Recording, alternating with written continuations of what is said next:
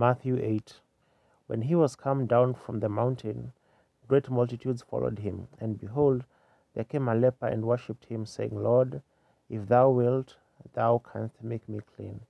And Jesus put forth his hand and touched him, saying, I will, be thou clean. And immediately his leprosy was cleansed. And Jesus saith unto him, See thou tell no man, but go thy way. Show thyself to the priest, and offer the gift that Moses commanded for a testimony unto thee.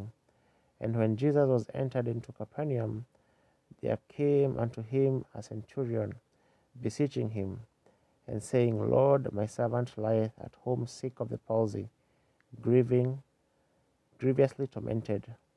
And Jesus saith unto him, I will come and heal him.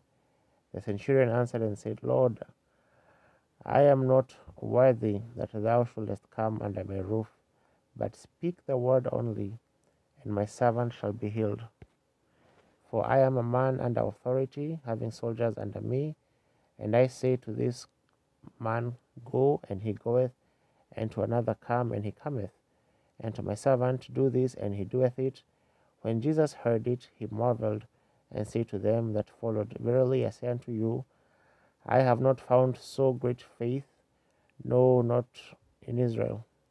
And I say unto you that many shall come from the east and west and sit down with Abraham and Isaac and Jacob in the kingdom of heaven. But the children of the kingdom shall be cast out into outer darkness. There shall be weeping and gnashing of teeth. And Jesus said unto the centurion, Go thy way, as thou hast believed, so be it done unto thee. And his servant was healed in the same in the self same hour. And when Jesus was come into Peter's house, he saw his wife's mother laid and sick of a fever, and he touched her hand, and the fever left her. And she arose and ministered unto them. When the even was come, they brought unto him many that were possessed with devils, and he cast out the spirits with his word, and healed all that were sick, that it may be fulfilled which was spoken by Isaiah the prophet, saying, Himself took our infirmities and bare our sicknesses. Now, when Jesus saw great multitudes about him, he gave commandment to depart unto the other side. And a certain scribe came and said unto him, Master, I will follow thee whithersoever thou goest.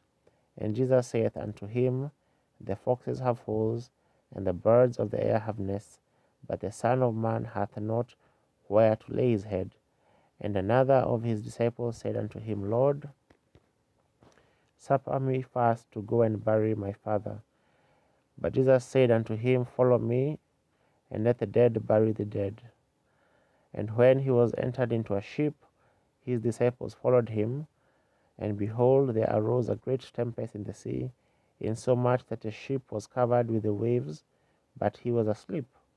And his disciples came to him and woke, awoke him, saying, Lord, save us, we perish.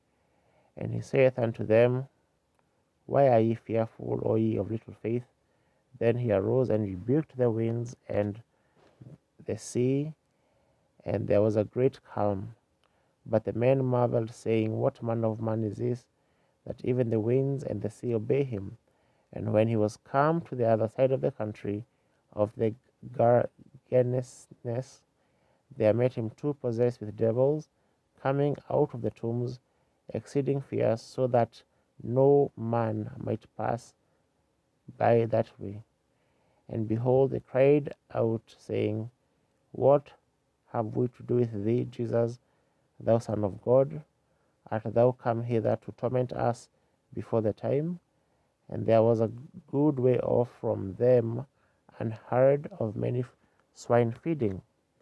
So the devils besought him, saying, If thou cast us out, suffer us to go away into the herd of swine. And he said unto them, Go. And when they were come out, they went into the herd of swine. And behold, the whole herd of swine ran violently down a steep place into the sea, and perished in the waters. And they that kept them fled and went their ways into the city, and told everything and what was befallen to the possessed of the devils. And behold, the whole city came out to meet Jesus. And when they saw him, they besought him that he would depart out of their coasts